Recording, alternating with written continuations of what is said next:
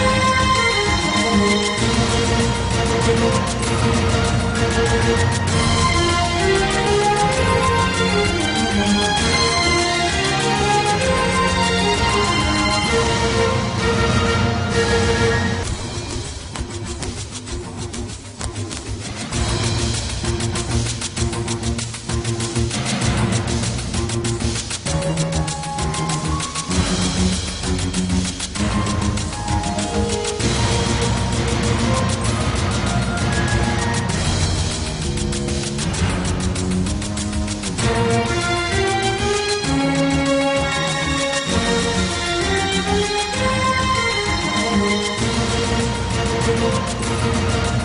Música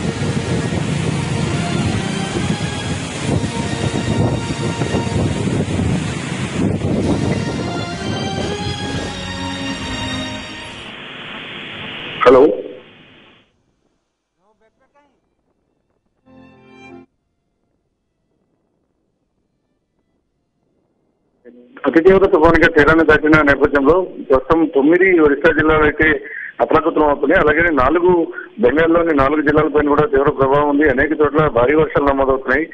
పెద్ద ఎత్తున యాష్ తుఫాను ప్రభావానికి ఒరిస్సా ఉత్తర తీరం అయితే పూర్తి స్థాయిలో చిగురుటగా వణుకున్న పరిస్థితి కనబడుతా ఉంది. పెద్ద ఎత్తున అలలు ఎగిసిపడిన నేపథ్యంలో అనేక చోట్ల వరదలు వరదల వాతావరణం కనిపిస్తోంది. వైపు సహాయ చర్యలను ఒరిస్సా ప్రభుత్వం వేగవంతం చేసింది.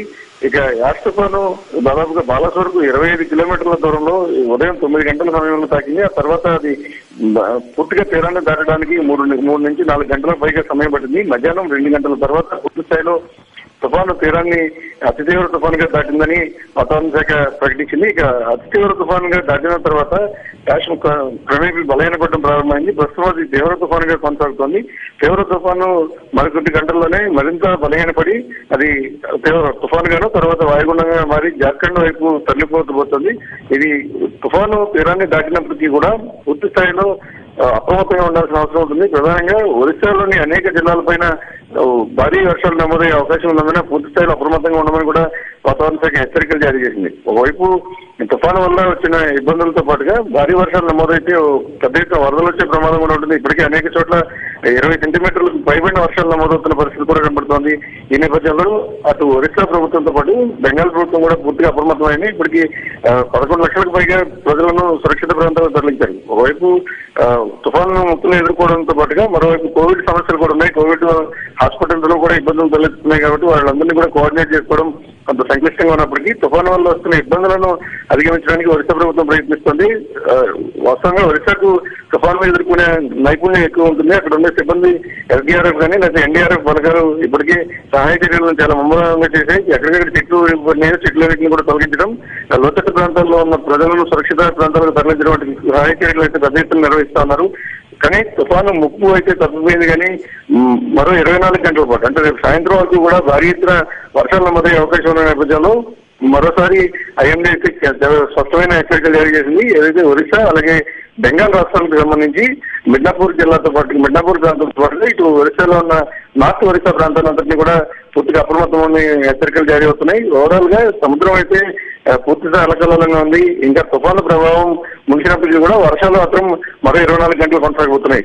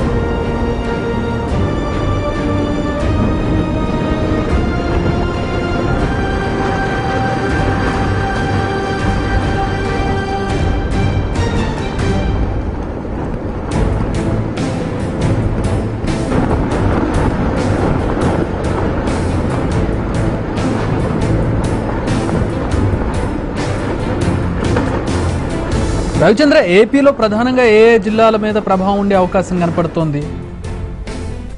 ఇక్కడ పూర్తిగా ఆంధ్రప్రదేశ్లో ముందు నుంచి అంచనా వేసినట్టుగా నార్త్ కోస్టల్ ఆంధ్రప్రదేశ్లో ప్రధానంగా శ్రీకాకుళం జిల్లాలో భారీ వర్షాలు నమోదవుతాయని అంచనా వేసినప్పటికీ తుఫాను ప్రభావం అంతా కూడా ఒరిస్సాకి పరిమితమైంది. నార్త్ కోస్టల్ ఆంధ్రప్రదేశ్లో పూర్తిగా ముప్పు తొలగిపోయినట్టే. అయితే అతి తీవ్ర తుఫానుగా తీరాన్ని దాటిన నేపథ్యంలో అటు ఒరిస్సాలోని తొమ్మిది జిల్లాలతో పాటు బెంగాల్లోని నాలుగు జిల్లాల పైన అధిక వర్షపాతం ప్రభావం ఉంది. ఇక తొమ్మిది నార్త్ కోస్టల్ ఒరిస్సా జిల్లాలు అయితే పూర్తి స్థాయిలో తుఫాను ప్రభావాన్ని ఎదుర్కొంటూ ఉన్నాయి. అనేక చోట్ల విధ్వంసకరమైన వాతావరణాన్ని యాష్ తుఫాన్ సృష్టించింది. అది ఉదయం తొమ్మిది గంటల ప్రాంతంలో ఏదైతే బలాస్ వరకు ఇరవై ఐదు కిలోమీటర్ల దూరంలో తీరాన్ని దాటడం ప్రారంభించింది. ఆ తీరాన్ని దాటిన తర్వాత నాలుగు గంటలకు పైగా ఉధృతంగా పయనిస్తూ తీరాన్ని దాటింది. తీరాన్ని దాటిన తర్వాత భారీ వర్షం నుంచి అతి భారీ వర్షాలు కూడా నమోదవుతున్నాయి. అనేక చోట్ల ఈదురుగాలు దాదాపు గంటకు నూట యాభై కిలోమీటర్ల బలం వేగంతో ఈదురుగాలు వీసిన నేపథ్యంలో అనేక చోట్ల చెట్లు కానీ లేకపోతే కమ్యూనికేషన్ సిస్టమ్ అంతా కూడా దెబ్బతింది.